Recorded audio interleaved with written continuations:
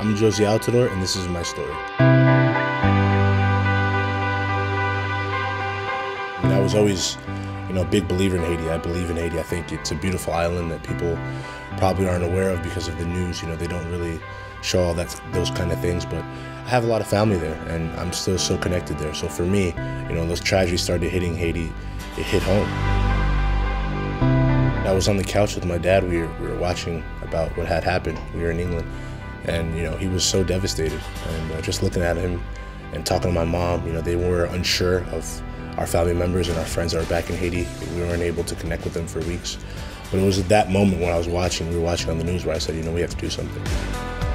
I was able to, to start this foundation and immediately set up relief and, and help send, you know, whether it was goods, money down there and, and help, you know, the few people out that I could at that at that point in time. But it's grown now and I'm able to, you know, for example, build wells and, and all those type of things and, and I'm really proud of.